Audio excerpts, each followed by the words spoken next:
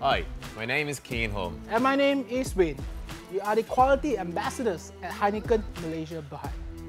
There are a number of things that we do at Heineken to ensure our quality is maintained at a higher standard for every beer that is served to our customers. In this video, we'll be talking about the beer brewing process. The brewing process is one of the key elements that make our beer unique and able to maintain its very high quality to this day. Let's look at the process in depth. Firstly, we have the barley that is harvested in the fields before being moved to the malting process. Malting gives the beer its colour, flavour, aroma, body, head, and provides the sugar that's needed for the yeast to convert into alcohol. The finished malted barley is then crushed in our roller mills to produce grist. The milling process exposes the starch that's needed to extract those fermentable sugars that's needed in the brewing process. Then we go into a process which is called mashing. This is where we add hot water at about 60 to 65 degrees Celsius in a process that is very similar to making porridge.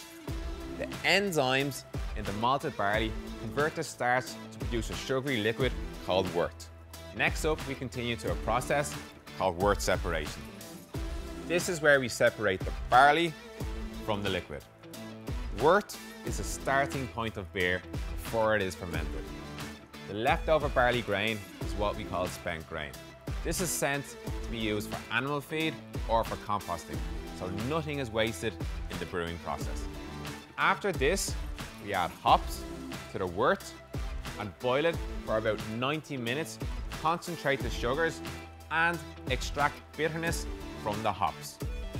The hops are added at different stages of the boil. This gives the brew different levels of bitterness, aroma and flavour. At the right temperature, we add Heineken's unique A yeast. We let it ferment to create alcohol and carbon dioxide. This process creates our characteristic balanced Heineken taste. Our A yeast is happiest with a large surface area. This is only possible by using our horizontal fermentation tanks.